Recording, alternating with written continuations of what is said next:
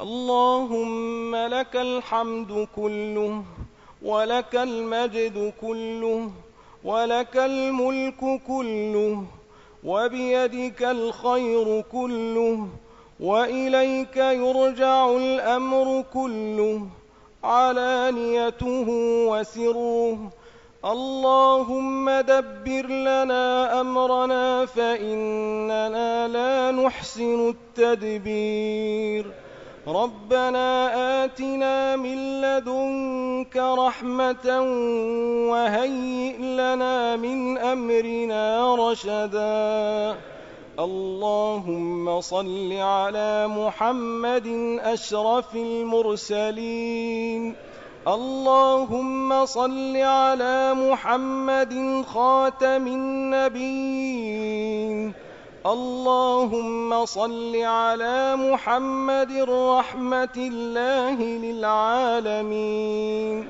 صلاة وسلاما دائمين متلازمين إلى يوم الدين. اللهم اقسم لنا من خشيتك ما تحول به بيننا وبين معصيتك. ومن طاعتك ما تبلغنا به جنتك ومن طاعتك ما تبلغنا به جنتك ومن اليقين ما تهون به علينا مصائب الدنيا ومتعنا اللهم بأسماعنا وأبصارنا وقوتنا أبدا ما أبقيتنا واجعله الوارث منا وانصرنا على من عادانا واجعل ثأرنا على من ظلمنا ولا تجعل مصيبتنا في ديننا ولا تجعل الدنيا أكبر همنا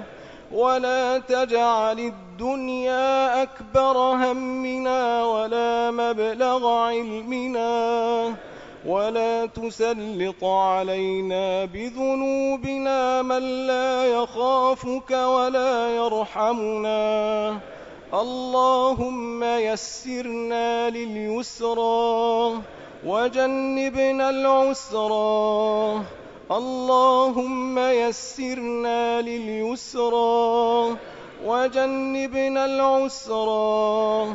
اللهم اكفنا بحلالك عن حرامك وأغننا بفضلك عمن سواك. وأغننا بفضلك عمن سواك. اللهم احفظ عوراتنا وامن روعاتنا. اللهم إن طاغية الشام قد طغى وبغى وعتى عن أمرك وعتى في الأرض فسادا. اللهم أرنا فيه بأسك الذي لا يرد عن القوم المجرمين.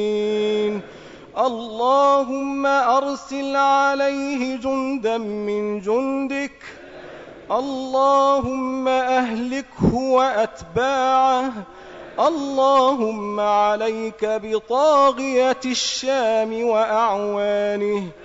اللهم دمر قوتهم واكسر شوكتهم وأزل دولتهم ونكس رايتهم واجعلهم هم وأحلافهم عبرة للعالمين.